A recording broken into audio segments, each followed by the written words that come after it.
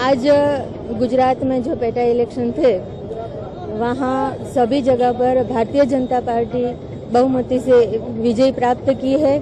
और पूरे गुजरात में और आज राजकोट में शहर बीजेपी द्वारा आतशबाजी का कार्यक्रम किया गया है। जिस प्रकार से नरेंद्र भाई मोदी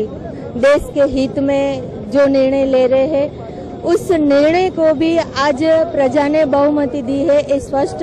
रूप से साबित हो रहा है और ये भारतीय जनता पार्टी का एक विजय का विश्वास का जश्न मनाया जा रहा है।